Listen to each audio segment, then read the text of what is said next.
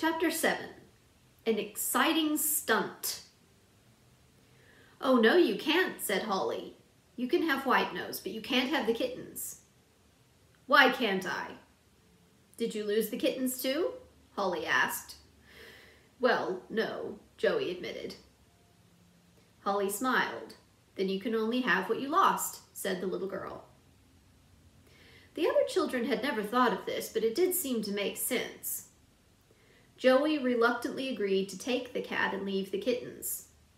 He told the children that White Nose's other name was Buttermilk. Come on, Buttermilk, he coaxed. We're going home. But the cat did not move.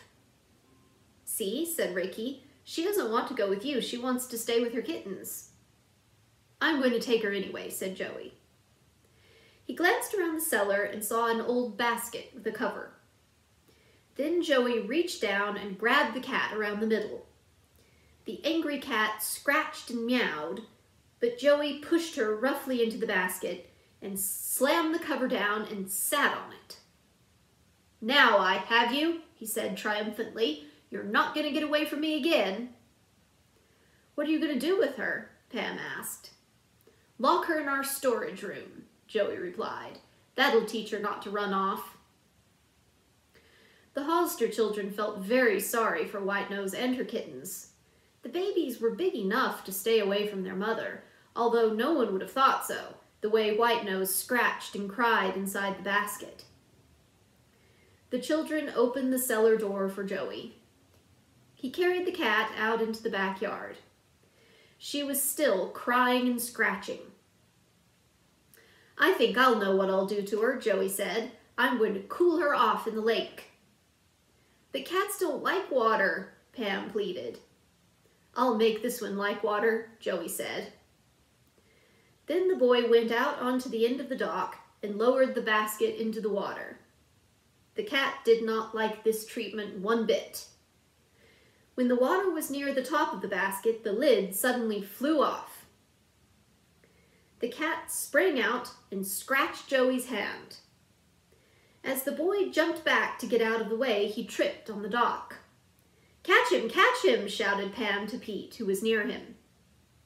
But it was too late. With a big splash, Joey Brill fell over backwards into the water. He went completely under, then struggled to the surface. Pete reached down and helped him back onto the dock. That cat! Where's that cat? Joey shouted.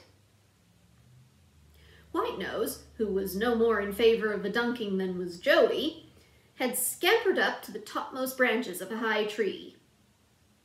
You Hollisters are going to pay for this, he shouted as he stomped off toward his home. When he was out of sight, White Nose came down cautiously out of the tree.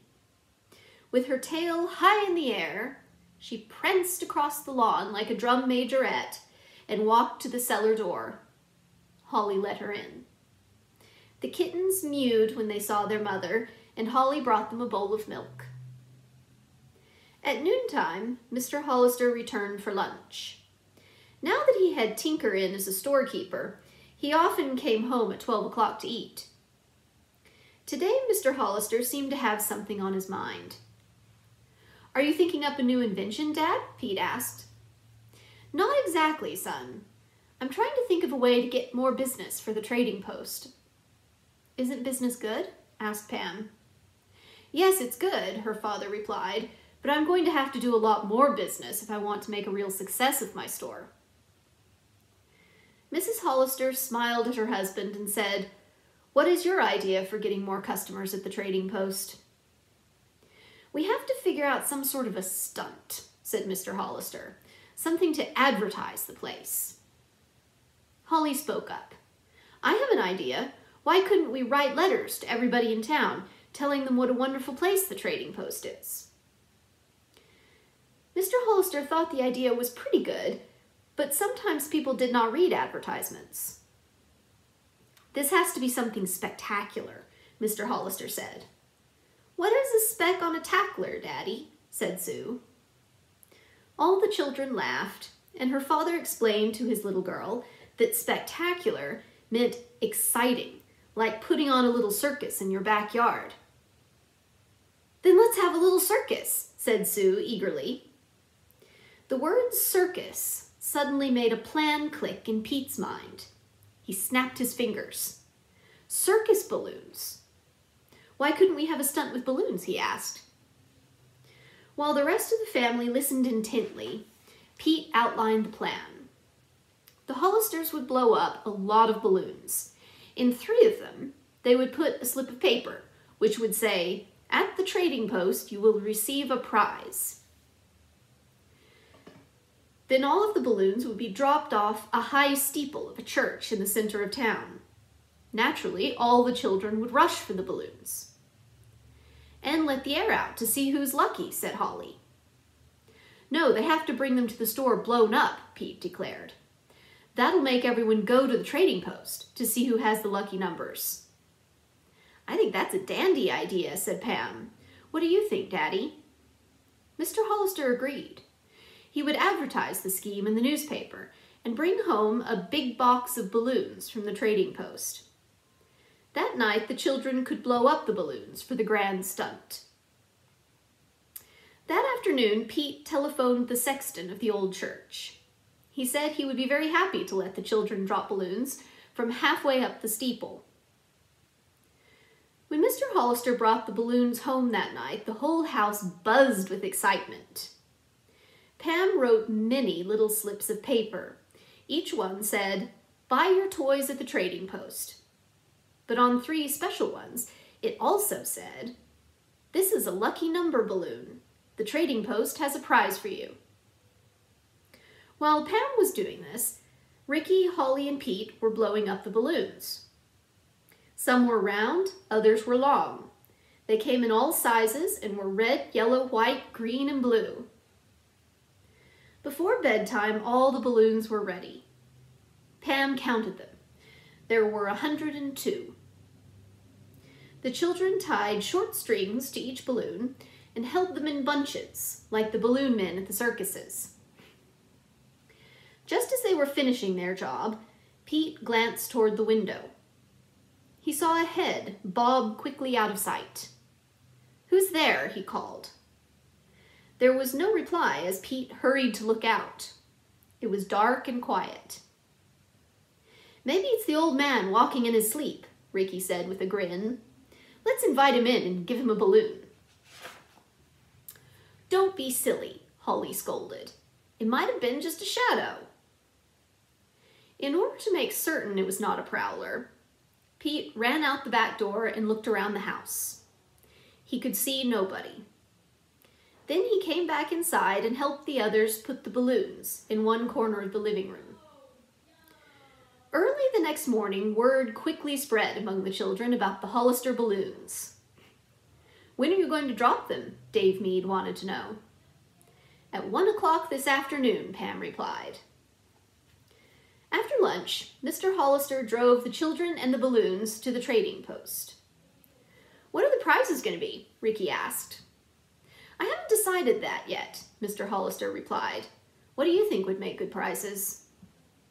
Ricky said a pair of roller skates. Then Holly suggested a doll if a girl should win. Pam thought a tennis racket might be nice. All right, their father agreed. Those will be the three prizes. What excitement there was as the time drew near to drop the balloons. It was arranged that Pete and Pam should take them up to the opening in the steeple. Ricky and Holly begged to go along. They wanted to see the town of Shoreham from high up. If you promise to be careful, you may go, Mr. Hollister said. At ten minutes to one, the four children set off for the church. They were met at the door by the sexton, who led them up a long stairway. The children carried so many balloons in their hands that they could hardly see ahead of them. The balloons bounced against their faces, and they were very glad when they reached the little balcony. The children down there look just like dolls, Pam said, glancing at the crowd of excited boys and girls. Finally, the hand of the big clock in the church steeple pointed to one o'clock. The bell went bong Let him go, Pete shouted. He and Pam released the balloons amid the shouts of the children below. The balloons scattered in all directions as the wind carried them up and down and sideways. The Hollisters watched for a moment as their little friends made a mad scramble for them. What a scene! Traffic stopped completely as the children ran here and there, jumping and grabbing to get the bobbing balloons. I think we'd better get back to the trading post, Pete said. The kids will be coming in soon. Many of the children's parents had accompanied them to town to watch the fun. Now they all started to enter the trading post. As each balloon was presented to Mr. Hollister, he opened it carefully and took out the little slips of paper. Finally, so many children came in all at once that Pete and Pam had to help him, while Roy Tinker took care of grown-up customers. Presently, a little boy named Phil held up his balloon to Pete, who opened it and read the paper. Here's a lucky number, said Pete. Yippee, yelled Phil. Everybody gathered around the boy. What would you like to have, roller skates or a tennis racket? Mr. Hollister asked. Roller skates. He picked them out.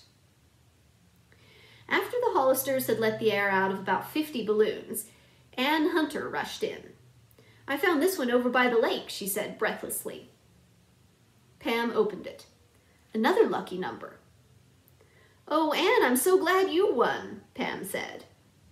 Well, young lady, what would you like to have? asked Mr. Hollister. A doll or a tennis racket? Anne chose a cute doll with golden curls. The excitement continued as other balloons were opened. As they reached 92, Joey Brill rushed in, shoving the other children aside. He had a balloon in his hand. Open it, he demanded. Pete took out the slip of paper. Another lucky number, he cried out. Ugh, whispered Ricky to Holly. He would get a lucky number. Mr. Hollister was just about to give Joey a tennis racket when another boy came in with a balloon. Mr. Hollister smiled, saying, all the lucky numbers are in. Oh, just open mine for fun, the boy pleaded. Pete did this, and Pam glanced at the slip of paper. Oh, Pete, she gasped, it's another lucky number. How could there be four of them? We made only three.